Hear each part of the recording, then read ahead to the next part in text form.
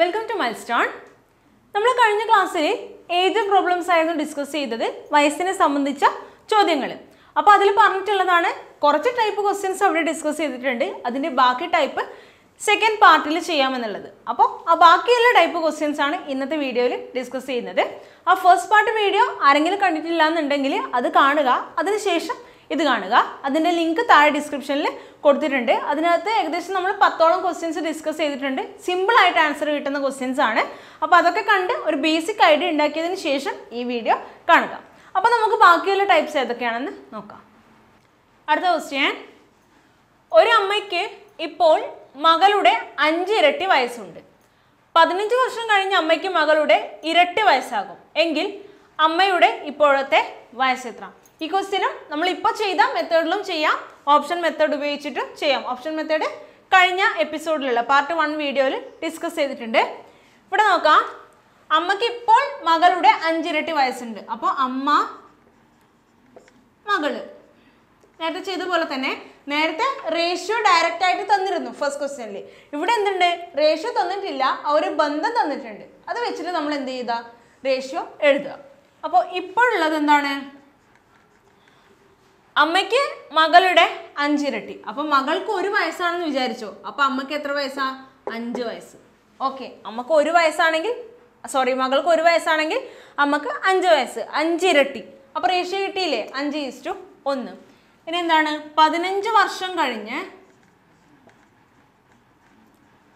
അമ്മയ്ക്ക് മകളുടെ ഇരട്ടി വയസ്സാകും. അമ്മയ്ക്ക് മകളുടെ ഇരട്ടി വയസ്സ്. ഇരട്ടി എന്ന് പറയുമ്പോൾ മകൾക്ക് ഒന്നാണെങ്കിൽ അമ്മയ്ക്ക് രണ്ട്. ഓക്കെ ആണല്ലോ. അപ്പോൾ രണ്ട് റേഷ്യോ കിട്ടിയിട്ടുണ്ട്. നേരത്തെ പോലെ തന്നെ ഡിഫറൻസ് നോക്കുക. അഞ്ചിൽ നിന്ന് രണ്ട് പോയാൽ മൂന്ന്. ഒന്നിൽ നിന്ന് ഒന്ന് പോയാൽ സീറോ അപ്പോൾ എന്താണ്? റേഷ്യോ സെയിം അല്ല. റേഷ്യോ സെയിം ആണെങ്കിൽ നമുക്ക് എത്ര വയസ്സ് വർഷത്തിന്റെ വ്യത്യാസമാണ്? പതിനഞ്ച് വർഷത്തിന്റെ വ്യത്യാസമാണ് ഇവിടെയും. അപ്പോൾ റേഷ്യോ ഇതിനെ ഇതുകൊണ്ട് ഹരിക്കുക വെച്ച് ഗുണിക്കുക ആൻസർ എഴുതുക. നേരത്തെ എഴുതിയ പോലെ. പക്ഷെ ഇവിടെ എന്താണ്? റേഷ്യോ ഡിഫറെന്റ് ആണ്. അപ്പോൾ നമ്മൾ എന്ത് ചെയ്യണം ഇവിടെ? റേഷ്യോ സെയിം ആക്കണം. എങ്ങനെ സെയിം ആക്കുന്നതെന്ന് വെച്ചാൽ ഇവിടെ എഴുതാം. ഫസ്റ്റ് റേഷ്യോന്റെ ഡിഫറൻസ് കാണുക അഞ്ചിന്ന് ഒന്ന് പോയാൽ നാല്. വ്യത്യാസം കണ്ടു. അഞ്ചിന്ന് ഒന്ന് പോയാൽ നാല്. ഇത് മൈനസ് ചെയ്യുക അതുപോലെ. രണ്ടിന്ന് ഒന്ന് പോയാൽ ഒന്ന്. ഇനി ഈ നാല് വെച്ച് ഈ റേഷ്യോനെ ഗുണിക്കുക. ഈ ഒന്ന് വെച്ച് ഈ റേഷ്യോനെ ഗുണിക്കുക. എന്നാൽ അത് ഈക്വൽ ആവും. എന്താ ചെയ്തേ? ആദ്യത്തെ റേഷ്യോന്റെ വ്യത്യാസം നാലാണ്. രണ്ടാമത്തതിന്റെത് ഒന്ന്. ഇനി ഈ രണ്ടാമത്തെ വെച്ച് ഇതിനെ ഗുണിക്കുക. ഒന്നാമത്തെ വ്യത്യാസം വെച്ച് രണ്ടാമത്തെ റേഷ്യോനെ ഗുണിക്കുക. അപ്പോൾ നോക്കാം. ഒന്ന് വെച്ച് അഞ്ചിനെ ഒന്നിനെയും ഗുണിച്ചാൽ ഒന്ന് അഞ്ച് അഞ്ച് ഒന്ന് ഒന്ന് ഒന്ന്. ഓക്കെ ആണല്ലോ? രണ്ടിന് ഇതിനെയും ഗുണിക്കാം. നാല് ഇന്റു രണ്ട് എട്ട്. നാല് ഇന്റു ഒന്ന് നാല്. ഇനി മൈനസ് ചെയ്ത് നോക്ക്. എട്ടിന്ന് അഞ്ച് പോയാൽ മൂന്ന്. നിന്ന് ഒന്ന് പോയാൽ മൂന്ന്. ഇപ്പം എന്തായി? റേഷ്യോ സെയിം ആയി. ഓക്കെ ആണല്ലോ? ഇവിടെ റേഷ്യോ സെയിം ആയിരുന്നില്ല. ഇപ്പോൾ റേഷ്യോ സെയിം ആക്കി. എങ്ങനെയാണ് സെയിം ആക്കിയത്? മൈനസ് ചെയ്തു. അത് വെച്ചിട്ട് അടുത്ത റേഷ്യോനെ ഗുണിച്ചു. അപ്പോൾ ഇപ്പോൾ റേഷ്യോ സെയിം ആയി. മൂന്ന് ഇഷ്ടം മൂന്ന്. എന്ന് നേരത്തെ ചെയ്ത പോലെ തന്നെ ചെയ്തു പോവുക. ഇവിടെ മൂന്നാണ് നമ്പർ കിട്ടിയത് ഇവിടെ പതിനഞ്ച് വർഷമാണ് ഡിഫറൻസ് അപ്പോൾ പതിനഞ്ചിന് മൂന്ന് കൊണ്ട് ഹരിക്കുക. അഞ്ച് എന്ന് കിട്ടും. നമുക്ക് ആരതാണ് കണ്ടുപിടിക്കേണ്ടത് അമ്മയുടെ ഇപ്പോഴത്തെ വയസ്സ് എത്ര? എപ്പോഴും ചെയ്യുമ്പോൾ ഒരുപോലുള്ള റേഷ്യോ ആണ് കൺസിഡർ ചെയ്യേണ്ടത്. ഇത് ഇപ്പോഴുള്ളതാണ്. ഇത് പതിനഞ്ച് ഇയേഴ്സ് കഴിഞ്ഞിട്ടുള്ളത്. നേരത്തെ നമ്മൾ ഫസ്റ്റ് റേഷ്യോകളായിരുന്നു ഇത് സബ്സ്റ്റിറ്റ്യൂട്ട് ചെയ്തിട്ടുണ്ടായിരുന്നത് എവിടെയാണ് ഒരുപോലെ റേഷ്യോ ഉള്ളത് അവിടെ സബ്സ്റ്റിറ്റ്യൂട്ട് ചെയ്യണം. അപ്പോൾ ഇവിടെ അഞ്ച് എന്ന് കിട്ടി. അമ്മയുടെ ഇപ്പോൾ ഉള്ളത്. അമ്മ ഏതാണ്? അഞ്ചാണ് ഇപ്പോഴുള്ള അമ്മയുടെ ഭാഗം അഞ്ചാണ് അപ്പോൾ അഞ്ച് ഇന്റു അഞ്ച് ഈ അഞ്ച് ഇരുപത്തി അഞ്ച് എന്ന് ആൻസർ കിട്ടും. ഈ റേഷ്യോയിലാണ് കൊടുക്കേണ്ടത്. നേരത്തെ ഈ റേഷ്യോയിലായിരുന്നു ഇവിടെ തന്നെ ഒരേപോലെ ഉണ്ടായിരുന്നു. പക്ഷെ ഇവിടെ നമ്മൾ മാറ്റിയിട്ട് എഴുതിയിട്ടാണ് ഒരുപോലെ ആക്കിയത്. അപ്പോൾ ഇതിൽ നമ്മൾ സബ്സ്റ്റിറ്റ്യൂട്ട് ചെയ്യുമ്പോൾ എത്ര കിട്ടും? ഇരുപത്തി അഞ്ച് എന്ന് ആൻസർ കിട്ടും. ഇനി ഇതേ ക്വസ്റ്റ്യൻ തന്നെ ഓപ്ഷൻ മെത്തേഡ് ഉപയോഗിച്ചിട്ടും ജസ്റ്റ് ഒന്ന് പറഞ്ഞുതരാം. കഴിഞ്ഞ എപ്പിസോഡ് കാണാത്തവർക്ക് ജസ്റ്റ് ഒന്ന് പറഞ്ഞുതരാം. അമ്മയ്ക്ക് റേഷ്യോ ഒക്കെ തന്നിട്ടുണ്ട്. മകളുടെ അഞ്ചിരട്ടി ഉണ്ട് പതിനഞ്ച് വർഷം കഴിഞ്ഞ് അമ്മയ്ക്ക് മകളുടെ ഇരട്ടി വയസ്സാകും. എങ്കിൽ അമ്മയുടെ ഇപ്പോഴത്തെ വയസ്സ് എത്ര? അപ്പൊ അമ്മയുടെ ഇപ്പോഴത്തെ വയസ്സാണ് ചോദ്യം. അപ്പൊ ഈ ഓപ്ഷനിൽ തന്നിട്ടുള്ളതൊക്കെ എന്താ? അമ്മയുടെ ഇപ്പോഴത്തെ വയസ്സാണ്. അമ്മയ്ക്ക് ഇപ്പോ ഇരുപത് വയസ്സാണെന്ന് വിചാരിച്ചോ? അമ്മയ്ക്ക് ഫസ്റ്റ് ഓപ്ഷൻ എടുക്കുന്നു നമ്മൾ അമ്മയ്ക്ക് ഇരുപത് വയസ്സ്. അപ്പൊ മകൾക്ക് എത്രയാണ്? അമ്മയ്ക്ക് മകളുടെ അഞ്ചിരട്ടി വയസ്സ്. ഏതിന്റെ അഞ്ചിരട്ടിയാണ് ഇരുപത്? നാലിന്റെ അഞ്ചിരട്ടിയാണ് ഇരുപത്. അപ്പോൾ അമ്മയ്ക്ക് ഇരുപതാണെങ്കിൽ അതിന്റെ ബൈ അഞ്ച് ചെയ്താൽ മകളുടെ വയസ്സ് കിട്ടും. എത്ര? നാല്. ഇനി എന്താണ് റിലേഷൻ പറയുന്നത് പതിനഞ്ച് വർഷം കഴിഞ്ഞ് അമ്മയ്ക്ക് മകളുടെ ഇരട്ടിയാവണം പതിനഞ്ച് വർഷം കഴിഞ്ഞു. അപ്പോൾ പ്ലസ് പതിനഞ്ച്. ഇവിടെയും കൂടും. പതിനഞ്ച് വർഷം കഴിയുമ്പോൾ ഇവിടെയും കൂടും. ഇത് എത്രയാവും? മുപ്പത്തി അഞ്ച് പത്തൊൻപത്. അപ്പം എന്താണ്? അമ്മയ്ക്ക് മകളുടെ ഇരട്ടിയാവണം പത്തൊമ്പതിന്റെ ഇരട്ടിയാണോ മുപ്പത്തഞ്ച്? അല്ല. അപ്പോൾ ഈ ഓപ്ഷൻ അല്ല.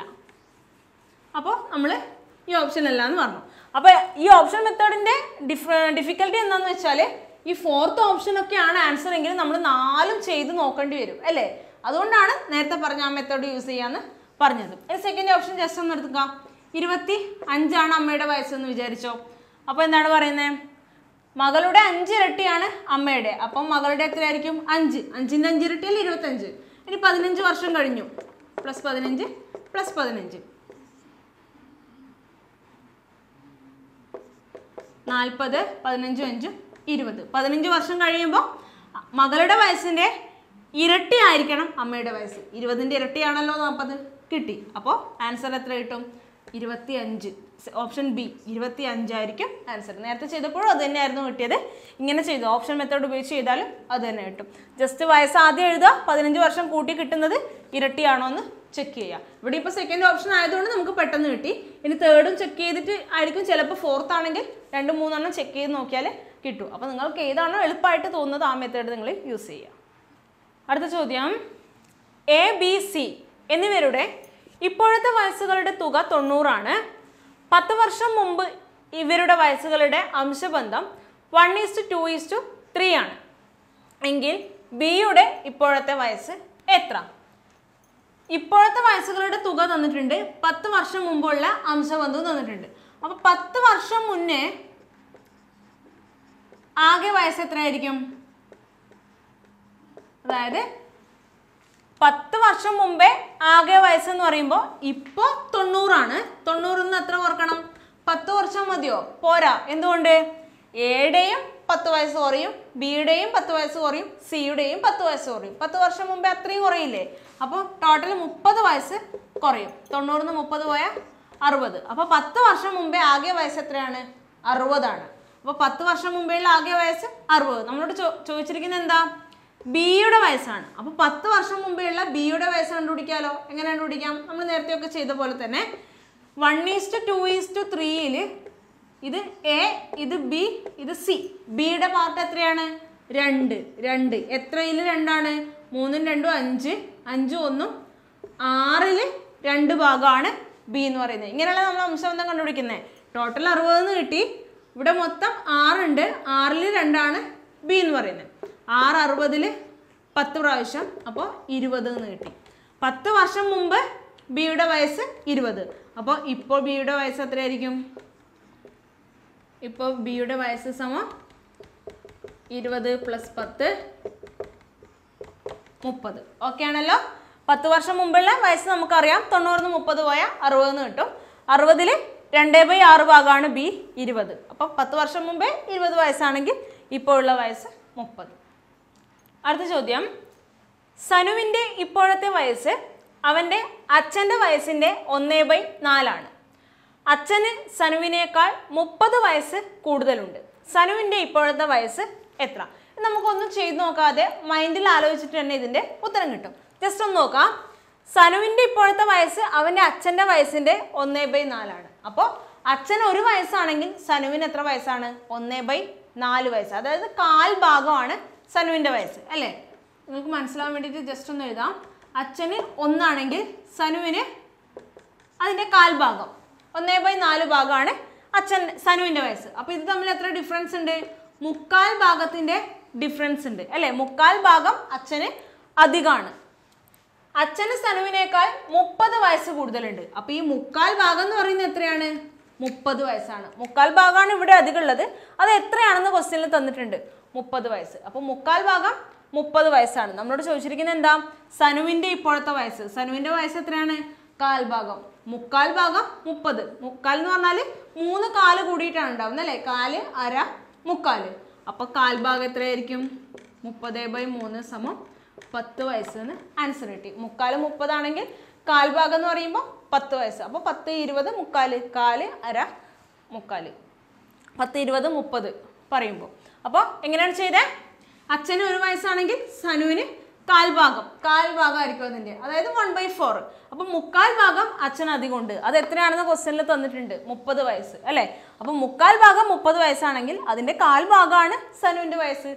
കാൽഭാഗം എന്ന് പറയുമ്പോൾ മുപ്പത് ബൈ മൂന്ന് പത്ത് വയസ്സ് എന്ന് ആൻസർ കിട്ടും. അല്ലെങ്കിൽ നിങ്ങൾ എന്ത് ചെയ്യുക ഓപ്ഷൻ മെത്തേഡ് ഓരോ ഓപ്ഷൻ ആയിട്ട് എടുത്തിട്ട് ചെയ്ത് നോക്കാം. അതൊന്നും വേണ്ട. ജസ്റ്റ് മൈൻഡിൽ ഇങ്ങനെ തന്നെ ചെയ്താൽ മതി. അടുത്ത ക്വസ്റ്റ്യൻ അഞ്ച് വർഷത്തിന് ശേഷം അച്ഛന്റെ വയസ്സ് മകന്റെ വയസ്സിന്റെ മൂന്നിരട്ടിയാകും. എന്നാൽ അഞ്ച് വർഷത്തിന് മുമ്പ് അച്ഛന്റെ വയസ്സ് മകന്റെ വയസ്സിന്റെ ഏഴിരട്ടി ആയിരുന്നു എങ്കിൽ അച്ഛന്റെ ഇപ്പോഴത്തെ വയസ്സ് എത്ര? ഇത് നമുക്ക് നേരത്തെ ചെയ്ത ആ മെത്തേഡ് ഉപയോഗിച്ച് ചെയ്യാം. അഞ്ച് വർഷത്തിന് ശേഷം എന്ന് പറയുമ്പോൾ ആഫ്റ്റർ ഫൈവ് ഇയേഴ്സ്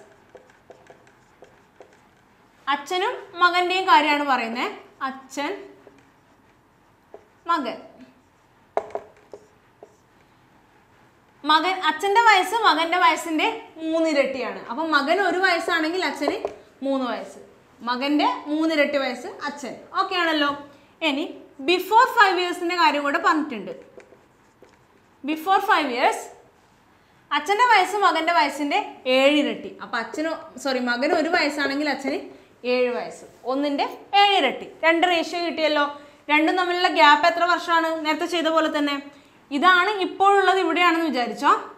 ഇവിടുന്ന് അഞ്ച് വർഷം പുറകോട്ടും അഞ്ച് വർഷം മുന്നിലേക്കുള്ള കാര്യമാണ് പറയുന്നത്. അപ്പം മൊത്തം ഗ്യാപ്പ് എത്ര വർഷത്തിന്റെ ഉണ്ട് പത്ത് വർഷം. ഈ ഒരു കൊല്ലം നോക്കുവാണെങ്കിൽ അഞ്ച് വർഷം മുമ്പേ ഉള്ളതും അഞ്ച് വർഷം ശേഷമുള്ളതും പറയുന്നത്. അപ്പം മൊത്തം അഞ്ചും അഞ്ചും പത്ത് വർഷത്തിന്റെ ഗ്യാപ്പ് ഉണ്ട്.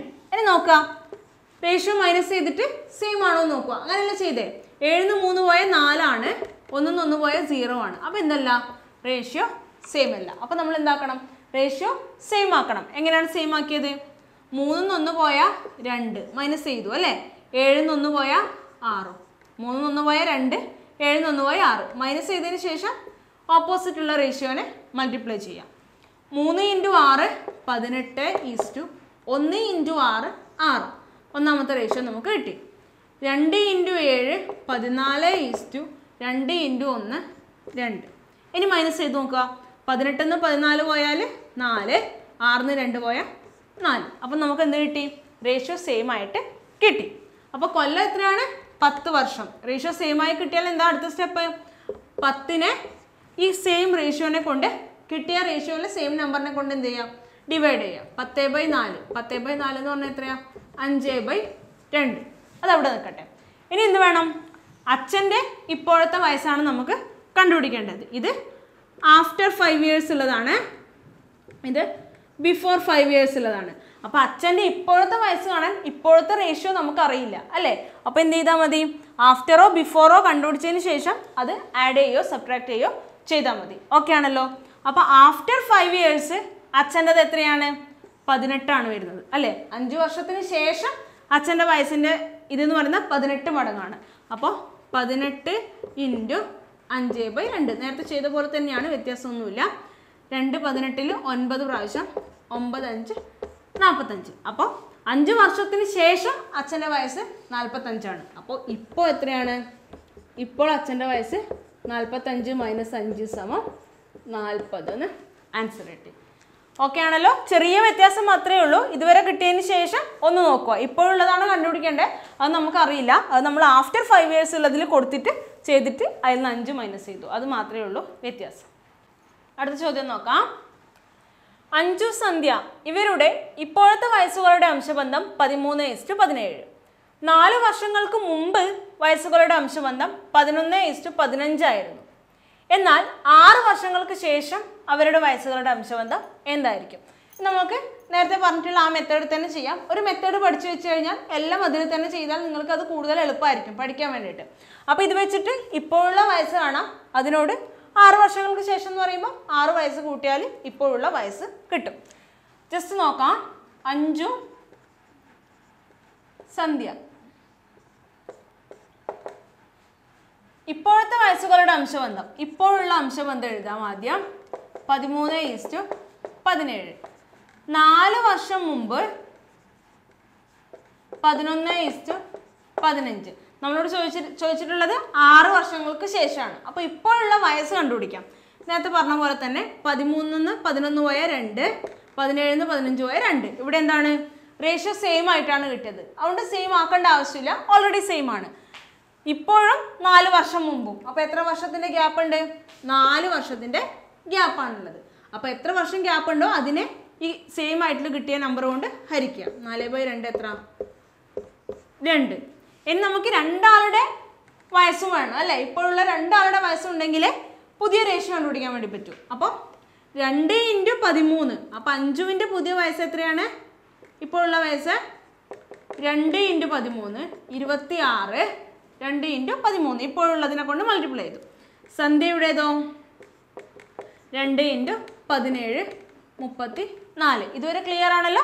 ജസ്റ്റ് രണ്ട് റേഷ്യോ എഴുതി ഫസ്റ്റ് ക്വസ്റ്റ്യനിൽ ചെയ്ത പോലെ തന്നെ ചെയ്തു. അഞ്ചുവിന്റെതാണ് ചോദിച്ചിരിക്കുന്നതെങ്കിൽ രണ്ട് ഇന്റു പതിമൂന്ന്.